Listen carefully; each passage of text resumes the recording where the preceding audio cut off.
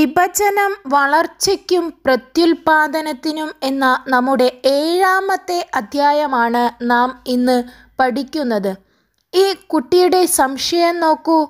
കോശം വിഭജിച്ച് രണ്ടായാൽ ഓരോന്നിലും ക്രോമസോം സംഖ്യ നാൽപ്പത്തി ആറിന്റെ പകുതിയാകണ്ടേ.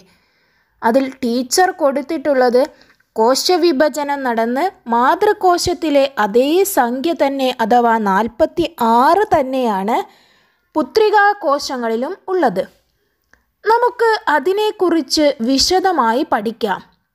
ഏകകോശമായ സിക്താണ്ടത്തിൽ നിന്നാണ് നമ്മുടെ വളർച്ച തുടങ്ങുന്നത് എന്ന് നിങ്ങൾക്കറിയാമല്ലോ. അതിൽ നിന്ന് കോശവിഭജനത്തിന്റെ പ്രാധാന്യം എന്താണെന്ന് നാം എട്ടാം ക്ലാസ്സിൽ നിന്നു തന്നെ പഠിച്ചു കഴിഞ്ഞതാണ്. ഒരു കോശചക്രത്തിന്റെ ചിത്രീകരണം നോക്കൂ. ഒരു കോശം പൂർണ വളർച്ചയെത്തിയ കോശമായി മാറുന്നത് ഇന്റർഫേസിലാണ് പൂർണ വളർച്ചയെത്തിയ കോശം വിഭജന ഘട്ടത്തിലൂടെ പുത്രികാ കോശങ്ങളായി മാറുന്നു. ഇന്റർഫേസ് വിഭജനഘട്ടം എന്നിവ ചാക്രികമായി ആവർത്തിക്കപ്പെടുന്നതിനാൽ രണ്ടും കൂടി ഉൾപ്പെടുത്തി കോശചക്രം എന്ന് പറയുന്നു. കോശവിഭജനവും കോശവളർച്ചയുമാണ് ശരീര വളർച്ച സാധ്യമാക്കുന്നത്. വിഭജനഘട്ടത്തെ രണ്ടാക്കി തരംതിരിക്കാം. ന്യൂക്ലിയസിന്റെ വിഭജനവും കോശദ്രവ്യത്തിന്റെ വിഭജനവും.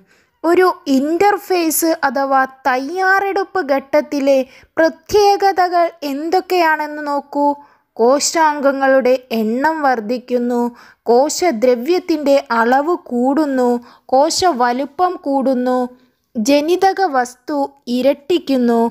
ഇവയൊക്കെയാണ് ഇന്റർഫേസിന്റെ പ്രത്യേകത. കോശവിഭജനവും കോശവളർച്ചയും തമ്മിലുള്ള പരസ്പര ബന്ധം മനസ്സിലായല്ലോ? കോശവിഭജനം രണ്ട് തരത്തിലുണ്ട്. ക്രമഭംഗവും ഊനഭംഗവും. ആദ്യത്തേത് ക്രമഭംഗം. ശരീര വളർച്ചയെ സഹായിക്കുന്ന കോശവിഭജന രീതിയാണ് ക്രമഭംഗം. ഒരു മാതൃകോശം വിഭജിച്ച് രണ്ട് പുത്രികാ കോശങ്ങളാകുന്ന പ്രക്രിയയാണ് ഇത്. ക്രമഭംഗത്തിൽ ആദ്യം നടക്കുന്നത് ന്യൂക്ലിയസിന്റെ വിഭജനമാണ്. ഈ ഘട്ടം കാരിയോകൈനസിസ് എന്ന് അറിയപ്പെടുന്നു. ന്യൂക്ലിയസിന്റെ വിഭജനം നാല് ഘട്ടങ്ങളിലൂടെയാണ് പൂർത്തിയാകുന്നത്. Prophase metaphase anaphase telophase. പ്രോഫേസിന്റെ പ്രത്യേകത എന്താണെന്ന് നോക്കാം. പ്രോഫേസിൽ ക്രൊമാറ്റിൻ ജാലികയ്ക്ക് മാറ്റം സംഭവിക്കുന്നു. ക്രോമസോമുകളുടെ എണ്ണത്തിൽ വ്യത്യാസം സംഭവിക്കുന്നു. മർമ്മകത്തിനും മർമ്മസ്തരത്തിനും മാറ്റമുണ്ടാകുന്നു. കീലതന്തുക്കൾ രൂപീകരിക്കുന്നു. പ്രോഫേസ് ഘട്ടത്തിൽ ക്രൊമാറ്റിൻ ജാലിക തടിച്ചു കുറുകി ക്രോമസോമുകളായി മാറുന്നു. ക്രൊമാറ്റിൻ ജാലിക ചിത്രത്തിൽ വളരെ വ്യക്തമായി കാണുന്നുണ്ടല്ലോ. അവ തടിച്ചു കുറുകി ക്രോമസോമുകളാകുന്നു. സെൻട്രോസോം ഇല്ലാത്തതിനാൽ സസ്യകോശത്തിൽ സെൻട്രിയോളുകൾ ഇല്ലാതെയാണ് കീലതന്തുക്കൾ രൂപം കൊള്ളുന്നത്. മെറ്റാഫേസ് ഘട്ടത്തിൽ ക്രോമസോമുകൾ കോശത്തിന്റെ മധ്യഭാഗത്ത് നിര നിരയായി ക്രമീകരിക്കപ്പെടുന്നു. ക്രോമസോമുകളുടെ സ്ഥാനം എന്താണെന്ന് മനസ്സിലായല്ലോ? മധ്യഭാഗത്താണ് നിരനിരയായി ക്രമീകരിക്കുന്നത്. അടുത്ത ഘട്ടം അനാഫേസ്. അനാഫേസിൽ ക്രോമസോമിന്റെ ക്രൊമാറ്റിഡുകൾ വേർപിരിയുന്നു.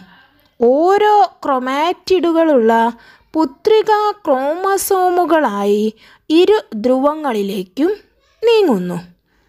ടീലോഫേസിൽ ഇരു ധ്രുവങ്ങളിലേക്കും നീങ്ങിയ ക്രൊമാറ്റിഡുകൾ ക്രൊമാറ്റിൻ ജാലികയായി മാറുന്നു. പുത്രിക ന്യൂക്ലിയസുകൾ ഉണ്ടാകുന്നു. ന്യൂക്ലിയസിന്റെ വിഭജനം പൂർത്തിയാകുന്നതോടെ മാതൃകോശത്തിൽ രണ്ട് പുത്രിക ന്യൂക്ലിയസുകൾ ഉണ്ടാകുന്നു. ഇവയിൽ ക്രോമസോമുകളുടെ എണ്ണത്തിന് മാറ്റമുണ്ടാകുന്നില്ലെന്ന് മനസ്സിലാക്കിയല്ലോ. അപ്പോൾ ആദ്യം നാം തന്ന ചിത്രീകരണത്തിൽ കുട്ടിയുടെ സംശയം എന്താണെന്ന് നിങ്ങൾക്ക് വിശദീകരിക്കാൻ കഴിയുമല്ലോ? ന്യൂക്ലിയസിന്റെ വിഭജനത്തെ നമുക്ക് ഒരു പട്ടികയിലാക്കി വിശദീകരിക്കാം. അതിലെ ഘട്ടങ്ങൾ ഒരു ഭാഗത്തും ആ ഘട്ടങ്ങളിൽ നടക്കുന്ന മാറ്റങ്ങൾ മറുഭാഗത്തും കോളമാക്കി തിരിച്ച് നമുക്ക് വിശദീകരിക്കാം. നിലവിലുള്ള കോശം രണ്ട് കോശങ്ങളായി മാറിയോ? ഇല്ലല്ലോ. ന്യൂക്ലിയസ് മാത്രമാണ് വിഭജിച്ച് കാണുന്നത്. എങ്ങനെയാണ് ഈ കോശം രണ്ട് പുത്രിക കോശങ്ങളാകുന്നത്? കോശദ്രവ്യത്തിന്റെ വിഭജനം കൂടി നടക്കുമ്പോൾ മാത്രമേ കോശവിഭജനം പൂർത്തിയാവുകയുള്ളൂ. കോശദ്രവ്യ വിഭജനം സൈറ്റോകൈനസിസ് എന്നറിയപ്പെടുന്നു. ന്യൂക്ലിയസിന്റെ വിഭജന ഘട്ടങ്ങൾ ജന്തുകോശത്തിലും സസ്യകോശത്തിലും ഏറെക്കുറെ സമാനമാണ്. എന്നാൽ ജന്തുകോശങ്ങളിലെയും സസ്യകോശങ്ങളിലെയും കോശദ്രവ്യത്തിന്റെ വിഭജനം സമമല്ല. ഈ ചിത്രീകരണം നോക്കൂ. കോശദ്രവ്യത്തിന്റെ വിഭജനം ജന്തുകോശത്തിലാണ് നാം കാണുന്നത്. പ്ലാസ്മ സ്തരം കോശത്തിന്റെ മധ്യഭാഗത്തായി ഉൾവലിയുന്നു. ഉള്ളിലേക്ക് വലിഞ്ഞ് അത് സാവധാനം വേർപെട്ട് പുത്രികാകോശങ്ങളാകുന്നു. കോശദ്രവ്യത്തിന്റെ വിഭജനം സസ്യകോശത്തിൽ എങ്ങനെയാണ് നടക്കുന്നതെന്ന് നോക്കൂ. പുത്രികാ ന്യൂക്ലിയസുകൾക്ക് ഇടയിലായി ചെറു സ്തരസഞ്ചികൾ രൂപപ്പെടുന്നു. ചെറു സ്തരസഞ്ചികൾ ചേർന്ന് കോശഫലകം രൂപപ്പെടുന്നു. കോശഫലകം ഇരുവശത്തേക്കും വളർന്ന് പ്ലാസ്മ സ്തരവുമായി ചേരുന്നു. അതിനുശേഷമാണ് സസ്യകോശത്തിൽ പുത്രികാ കോശങ്ങളായി മാറുന്നത്. കോശവിഭജനത്തിന്റെ ഫലമായി ഉണ്ടാകുന്ന പുത്രികാ കോശങ്ങൾ വളർന്ന് വീണ്ടും വിഭജനത്തിന് വിധേയമാകുന്നു. ഓരോ തവണ വിഭജിക്കുമ്പോഴും ജനിതക വസ്തു ഇരട്ടിച്ച ശേഷമാണ് കോശം വിഭജിക്കുന്നത്. അതിനാൽ എത്ര തവണ കോശവിഭജനം നടന്നാലും കോശത്തിലെ ക്രോമസോം സംഖ്യയ്ക്ക് മാറ്റം വരുന്നില്ല. ഇതാണ് ക്രമഭംഗത്തിന്റെ പ്രത്യേകത. ക്രമഭംഗം ഒരു നിയന്ത്രിത പ്രവർത്തനമാണ്. ഈ നിയന്ത്രിത പ്രവർത്തനത്തിൽ തകരാറുകൾ സംഭവിക്കുന്നതുമൂലം കോശം അമിതമായി വിഭജിച്ച് ക്രമരഹിതമായി പെരുകുന്നു. ഈ അവസ്ഥയാണ് ക്യാൻസറിലേക്ക് നയിക്കുന്നത്. കലകളുടെ കേടുപാടുകൾ പരിഹരിക്കുന്നതിനും ശരീര വളർച്ച സാധ്യമാകുന്നതും ക്രമഭംഗത്തിലൂടെയാണ്.